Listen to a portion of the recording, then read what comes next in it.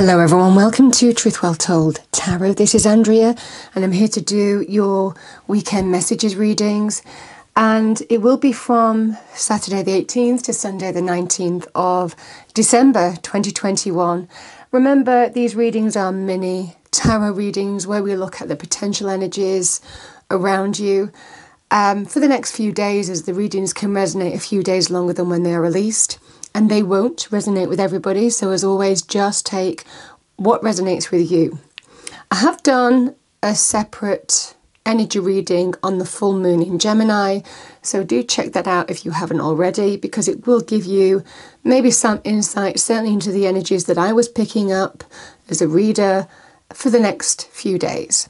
So, without further ado, let's get straight into these readings. And as always, I wish you a wonderful weekend. Scorpio, let's see what we have for you. This is for Scorpio, Sun, Moon, Rising, and Venus. For those of you who are interested, I am using the Druid Tarot deck. So let's see what we have for you, our lovely Scorpios. Okay. So we begin with the Prince of Cups, water energy, which is your energy. We have the Seven of Cups. Queen of Pentacles. And bottom of the deck, we have the Five of Swords. It feels, Scorpio, like some kind of apology. So, cards on the table, we have Pisces, Scorpio, Cancer, male or female energy. We also have Taurus, Virgo, Capricorn, again, male or female energy. But the energy of the Queen of Pentacles is something that can be nurtured and healed, maybe. So, for some of you, Scorpio, we have the Five of Swords. Now, this can be a card of conflict, uh, some argument, some conflict being, and it sometimes is someone's actions or somebody acting in a way that completely disregards the other person.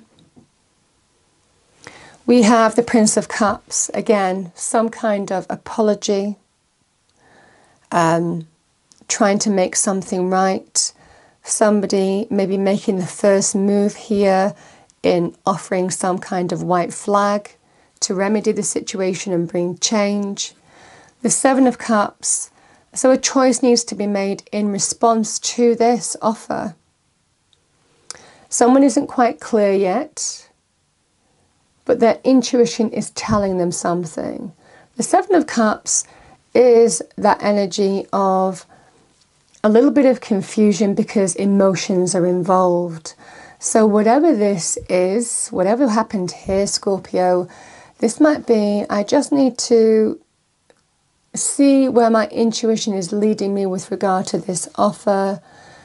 And again, for some of you, it's to do with healing. Again, the Queen of Pentacles is a very healing and nurturing, um, healthy energy. So I feel in this energy for some of you, something might be coming in, or someone might be coming in to heal an argument, to make peace. Uh, you might, you know, this can be the white flag being waved. Can we make peace? Can we move past this? And maybe a decision needs to be made here. Because again, the Seven of Cups can be a card of choices. But again, this energy, your intuition generally leads you in what choice to make with the Seven of Cups. Scorpio, if it's, I mean, with the Pentacle energy being here, which can also lend itself to career and money, because there can be a material aspect to the Queen of Pentacles very strongly. And she can be an energy or a symbol of somebody offering you opportunity, somebody holding some kind of opportunity here that might be offered to you. It can also be this energy of um, abundant energy somebody who provides for who provides for themselves, their family, who has the financial um, ability to provide, the provider, you know. Um, somebody who's very abundant through hard work and patience and working within the boundaries that they are, are, are the, the environment dictates. So you might be feeling that a little bit, Scorpio.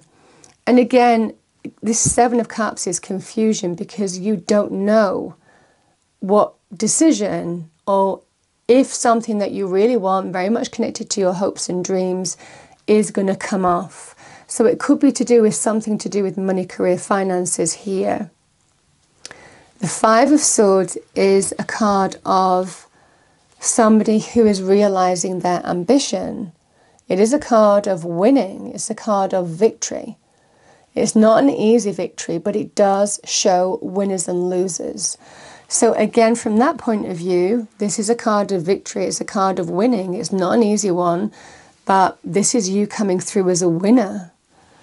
Because, again, water energy, your element, you are being offered something here, offered something that you really want. Again, the Seven of Cups is hopes, dreams, and wishes. I hope this comes off, but I don't know if I'm going to get the offer here. This can be the knights deliver offers, they deliver the opportunity, they bring the change. So, again, in money areas, that is what I'm seeing. So, again, take what resonates for you.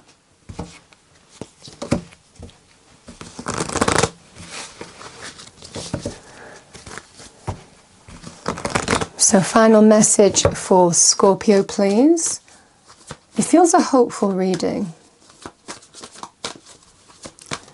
Final message for Scorpio, please. I need to shuffle these cards again.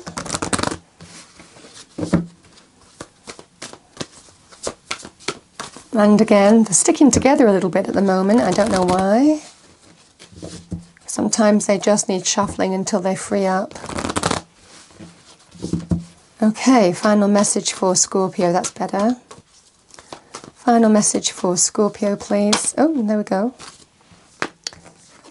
Sight, owl, detach your emotions from situations that you cannot control.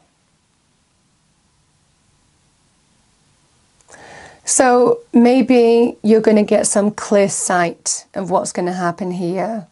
Either sight to make a decision or getting clear sight on something coming your way that you were hoping for. I hope you enjoyed the reading, Scorpio. If you did, please do like, share, and subscribe, and I will see you next time. Thank you.